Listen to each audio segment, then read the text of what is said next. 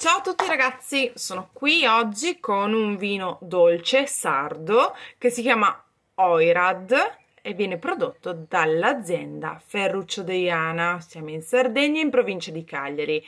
Perché ho scelto questo vino? Perché ho deciso di parlarvi della struttura del corpo del vino. Molte volte noi utilizziamo certi termini per descrivere appunto quello che abbiamo nel calice, eh, diciamo che un vino può essere strutturato di corpo robusto, debole, leggero, slanciato, ma che cos'è il corpo di un vino? È quello che resta quando si va a togliere l'acqua, l'alcol etilico e le sostanze volatili che non è altro che l'estratto secco, quello che resta, quindi zuccheri, eh, i sali minerali, gli acidi fissi, ehm, la glicerina, le gomme, quello che resta.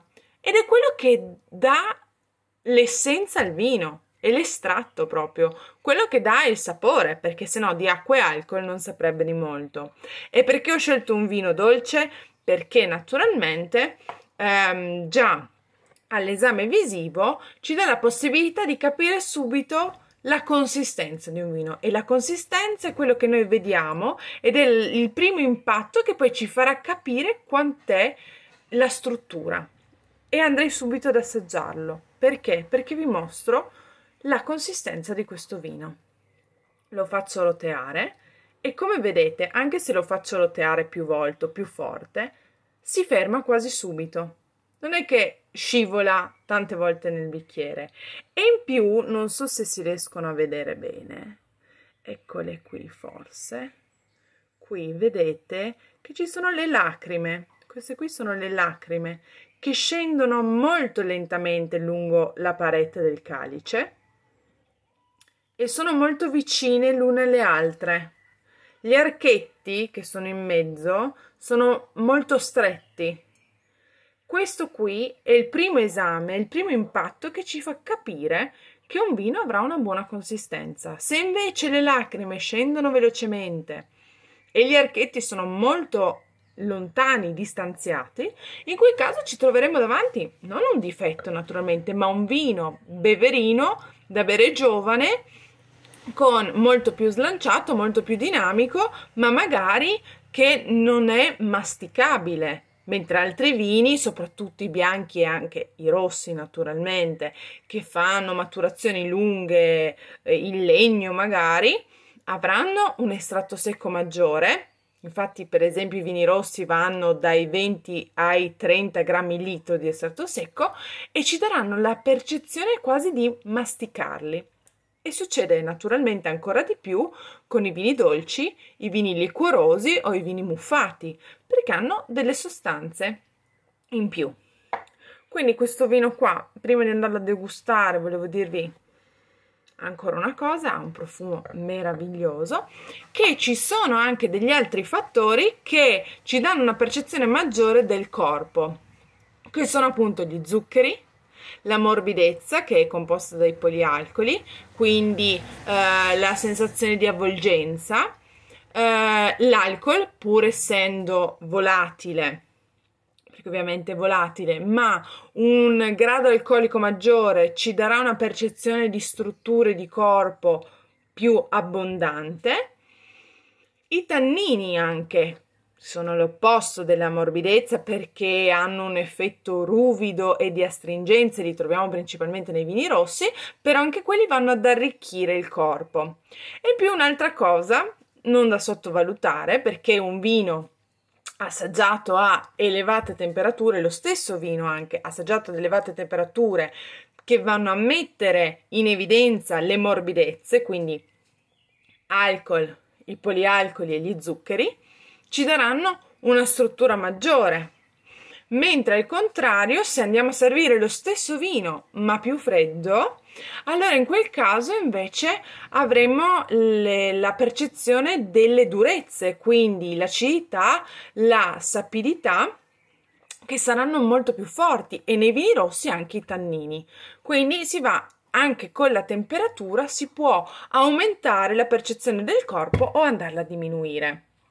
Adesso andiamo ad assaggiare questo meraviglioso vino dolce che come vedete ha un bellissimo color ambra veramente bello. Come detto prima, buonissima consistenza, quindi ci aspettiamo un corpo che magari non sarà proprio robusto, però a livello del masticabile, per intenderci.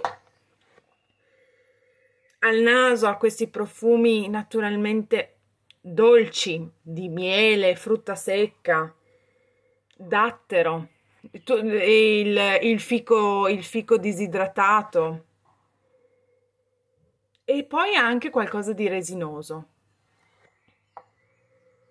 Qualche agrume, scorza d'agrume, ma non troppo dolce, è molto invitante. Molto invitante l'assaggio e molto invitante anche ad annusarlo, a continuare ad annusarlo. Ci sono anche dei fiori, fiori appassiti. Andiamo ad assaggiarlo.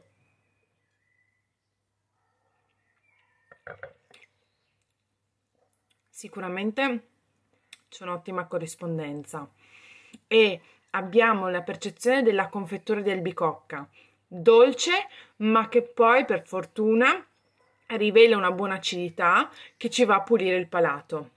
Ha un grado alcolico di 14 gradi, quindi non è um, cioè si sente, si percepisce l'alcol soprattutto se lo abbiamo lasciato un po' nel calice, quindi andiamo ad aumentare questa sensazione di dolce e di alcol, però devo dire che nonostante ciò lascia la bocca pulita e ha un finale quasi sapido, molto corrispondente. Io lo abbinerei con vino da questo qui è un vino da meditazione, ma se lo si vuole abbinare, naturalmente ci sono i, i, dolci, i dolci secchi con la frutta secca, eh, oppure penso anche a dei formaggi erborinati, ci stanno molto bene.